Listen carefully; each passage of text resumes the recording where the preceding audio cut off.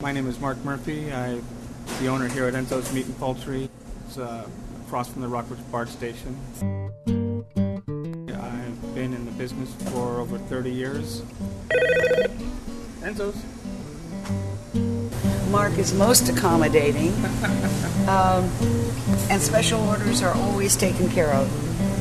Perfect. You can find pretty much anything you can possibly think of at Enzo's. Oxtails, pheasants, poussins. And if we don't have it, we'll do the best we can to get it for you. Look nice? Yeah. Okay. Yeah. I like that.